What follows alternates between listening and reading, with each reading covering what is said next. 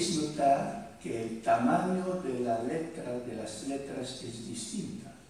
Es decir, que podéis notar que notas sobre la guerra civil, la revolución y guerra civil españolas, tamaño inferior, pequeño. Yo creo que el título no respeta, no pasa nada, no respeta el título de Unamuno. Y lo que pasa hoy es que todo el mundo se acuerda de el resentimiento trágico de la vida y nadie cita, el título es demasiado largo, lo que sigue. Y eh, Pierre Vilar, a quien admiro mucho, un poco olvidado, fue marxista, comunista, pero un historiador ante todo muy bueno, Pierre Vilar, mi maestro, uno de mis maestros, con Carlos Serrano. Pierre Vilar dijo en un librito, La guerra de España, que Unamuno era un genio del verbo, un genio du verbo. Y el acierto expresivo, el resentimiento, es genial, porque es la continuación del sentimiento trágico de la vida. Juega con las palabras. Unos, sí ya lo has dicho, pero unos han dicho, otros critican, pero es normal, que son juegos estériles. Guerra civil, guerra civil. Y juegos de palabras que no llevan a Bien, vamos a ver. El término, el concepto de guerra civil, eh, civil, el, el concepto de guerra civil Unamuno reflexiona desde hace 40 años casi, desde fines del siglo XIX. Un colega nuestro, un historiador auténtico, Juan, auténtico, Juan Francisco Fuentes, es, me parece, uno de los historiadores españoles que más ha reflexionado sobre el concepto de guerra civil y el mito de guerra civil a través de varios artículos y a través también de su diccionario del siglo XX. Eh, porque eh, este concepto guerra civil va a nacer con la primera novela de Unamuno, Paz en la guerra, 1897. Pero es una, es una novela que, que Unamuno ha pensado, eh, escrito durante casi 12 años. Y Unamuno hizo el trabajo de un auténtico historiador, recorriendo los montes, el campo de Bilbao, hablando con los campesinos, consultando los diarios en las hemerotecas, hablando con, con los testigos de esta guerra, de esta guerra civil, civil paisano, que se va a oponer a militar a la otra guerra, que pronto se va a convertir en guerra incivil. Y la fecha que va a obsesionar Unamuno, la fecha es la fecha del 2 de mayo de 1874, fecha de la liberación de Bilbao por los liberales. Fue para Unamuno, lo dice, el primer albor de conciencia civil.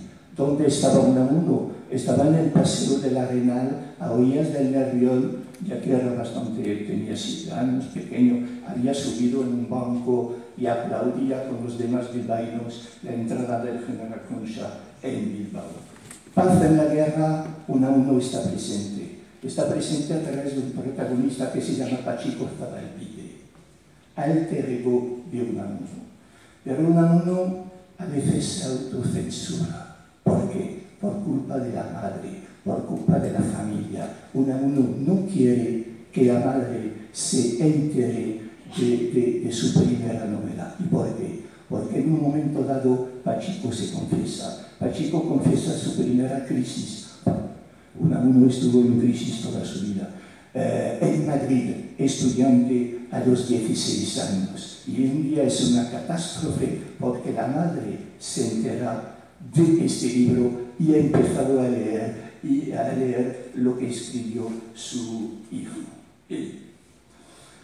Paz en la guerra es fundamental en, eh, en el año 36 porque pronto va a oponer esta última guerra civil del uh, siglo XIX con la que acaba de nacer el 18 de julio.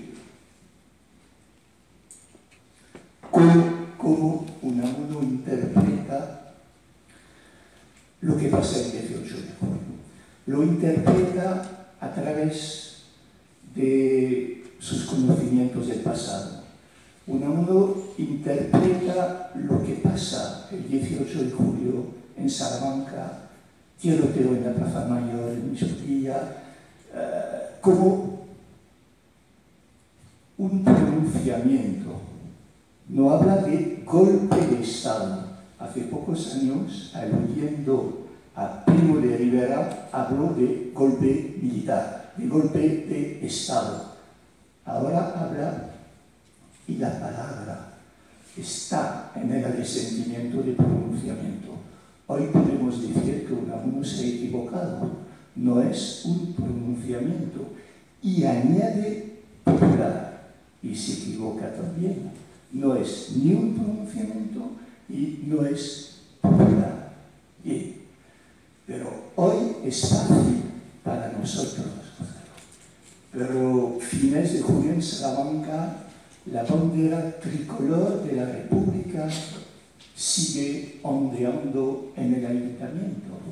Unos generales como Queipodellano en Sevilla gritan al final de cada discurso ¡Viva España y viva la República!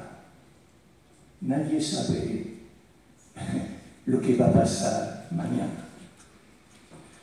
Lo que pasa es que Unamuno, y se da cuenta, uh, además de en el torbellino, otro artículo escrito para ahora, en el verano del 36, el título es Examen, examen de conciencia. Y confiesa en estos apuntes del uh, resentimiento Unamuno que esta guerra de su niñez la idealizado totalmente.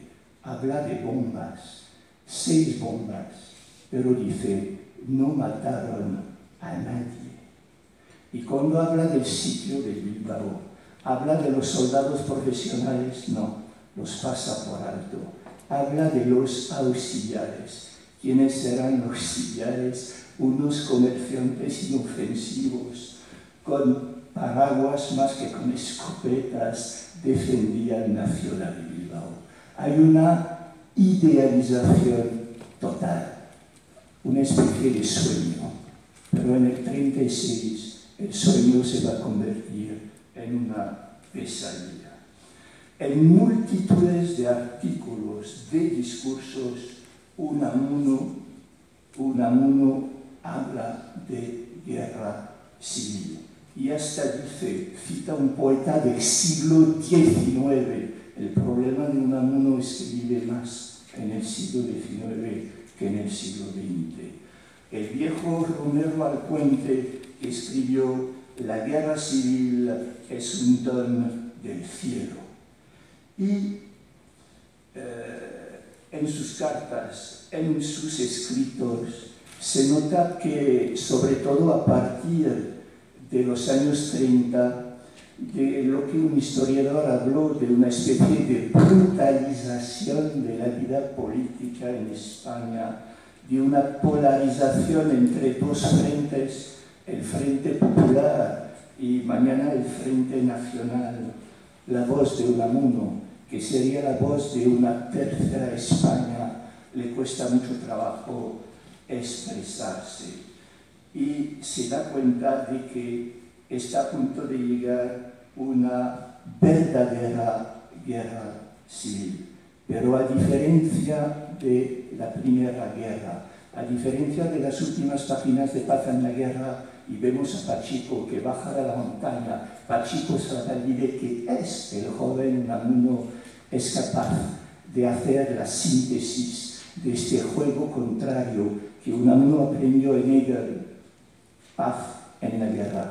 De la guerra van a hacer la paz, pero muy pronto Unamuno se da cuenta de que en el verano del 36 esta guerra que empieza, lo escribe, no va a desembocar en una paz, sino en una victoria de un, de un bando sobre el otro.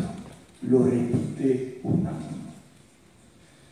Y para detrás de todo esto, un día Santos Julián escribió que los intelectuales habían reflejado el enfrentamiento de dos Españas.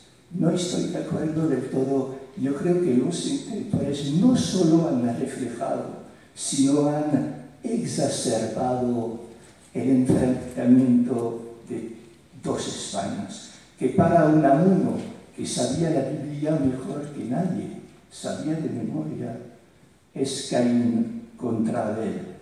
Y entonces, eh, de, este, de, este choque, de este choque, el paz en la guerra es capaz de realizar la síntesis de los contrarios, pero se da cuenta muy pronto en el 36 que a causa de la envidia, la envidia, envidia, Abel, la envidia que es sinónima del resentimiento. Es una palabra genial, porque eh, hace pocos años un historiador francés, Marc Ferraud, y sin conocer a Unamuno, editó un libro cuyo título es Le ressentiment dans l'histoire, le ressentiment y el resentimiento como motor de las guerras, no solamente en España, sino también en Rusia, porque la guerra civil no es únicamente, se dice, la panache de eh, España.